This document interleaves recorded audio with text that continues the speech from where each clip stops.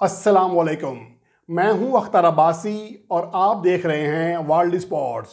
Pakistan Super League 2022 के लिए match referees और अंपायर्स के पैनल का ऐलान कर दिया गया है। रंजन मधुकाले जो कि श्रीलंका के नामवर मैच रेफरी हैं, वो भी पैनल में शामिल हैं रेफरीज के, जबकि अंपायर्स में बहुत बड़े बहुत बड़े बड़े अंपायर शामिल हैं, जिनमें अलीम डार भी शामिल है। दीगर अंपायर कौन है, इसकी तफसीलात आपको बताऊँगा इस रिपोर्ट में। और इसके साथ साथ लेजेंड क्रिकेट लीग के लिए भी कप्तानों नैब कप्तानों और कोचेस के नामों का ऐलान कर दिया गया है। वो कौन है, इन दोनों रिपोर्ट की तफसीलात आपके साथ शेयर करूँगा। लेकिन इससे पहले आपको बताऊँगा कि कल वनडे सीरीज़ का आगाज़ हो रहा है साउथ अफ्रीका और इंडिया के दरमियान। और इसके लिए साउथ अफ्रीका ने अपने टॉप बॉलर कगिसो रबादा को आराम दे दिया है, जिसकी वजह यह है कि वो चाहते हैं सिलेक्टर्स के दौरा न्यूजीलैंड के लिए कगिसो रबादा मुकम्मल तौर पर रिफ़्रेश हो जाएँ, उनको आराम दिया जाए, मुसलसल क्रिकेट खेल रहे हैं। ये बड़ा फैसला किया है सिलेक्टर्स ने। इसके बाद जो अपडेटेड वनडे स्क्वाड है साउथ अफ्रीका का इस वनडे सीरीज़ के लिए, उनकी जो क्यादत है, वो टीम पापवामा करेंगे, जबकि कैशफ महाराज उनके नैप होंगे। इस तरह दीगर प्लेयर्स में विकेट कीपर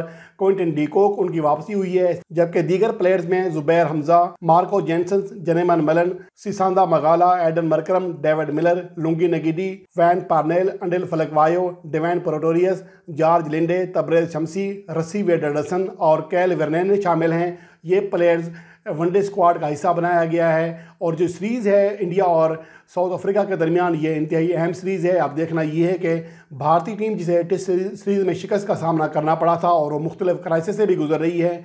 कि वो इस वनडे सीरीज़ में कैसी कारकर्दगी दिखाती है। और अब हम बात करेंगे अंपायर की मैच रेफरीज की, जो कि पाकिस्तान सुपर लीग 2022 के लिए जिनकी तकर्री हुई है। अगर अंपायर्स पर निगाह डालें तो उनमें Ahsan Raza, Aleem Dar, Asif Yaqoob, Faisal Afridi, Imran Javed, Imtiaz Iqbal, Michael Gough, Nasir Hussain, Rashid Riaz, Richard Illingworth जोजब Raza और वलीद यकूब ये अंपायर्स में शामिल हैं, जबकि मैच रेफरीज में अली नकवी इफ्तार अहमद, मोहम्मद जावेद, रंजन मदोगाले और रोशन महानामा ये रेफरीज पैनल में शामिल हैं। और उसके साथ साथ दी लेजेंड लीग, जिसका आगाज़ 20 जनवरी से हो रहा है, इसके लिए तमाम तीन टीमों के कप्तानों, नायब कप्तानों और कोचेस के नामों का ऐलान कर दिया गया है। इंडियन महाराजाज की जो क्यादत है, वो वीरेंद्र सहवाग करेंगे, जो कि इससे पहले भी भारतीय टीम को भी लीड कर चुके हैं, जबकि आईपीएल में किंग्स इलेवन के अलावा दिल्ली कैपिटल्स की भी क्यादत करते रहे हैं। उसके अलावा उनके मोहम्मद कैफ, उनके नायब कप्तान होंगे इंडियन महाराजाज के, जबकि ऑस्ट्रेलिया के सबक कोच जॉन बकानन भी इस टीम का, यानी इंडियन महाराजाज के कोच होंगे। दी लेजेंड क्रिकेट लीग में, जबकि एशियन लाइन्स की जो क्यादत है, वो पाकिस्तान के सबक कप्तान मिसबाउल हक करेंगे।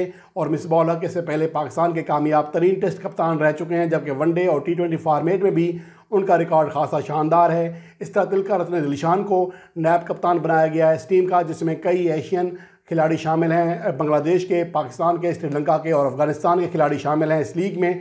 इसके अलावा जो कोच होंगे, वो अर्जुन रानाटुंगा होंगे, जिन्होंने 96 का वर्ल्ड कप जीता था श्रीलंका के लिए, जो श्रीलंका के वैद फातह कप्तान हैं किसी वर्ल्ड कप के।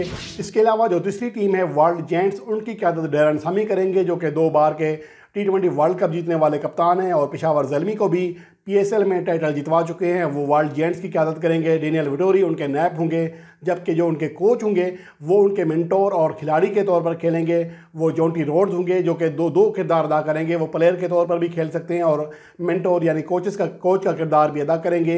ये, नाम ऐलान किया गया है। दी लेजेंड क्रिकेट लीग की जानब से कि इस लीग में जिसका ये पहला टूर्नामेंट है, दी लेजेंड क्रिकेट लीग का, इसमें कौन कौन से कप्तान कोचेस और नैब कप्तान होंगे?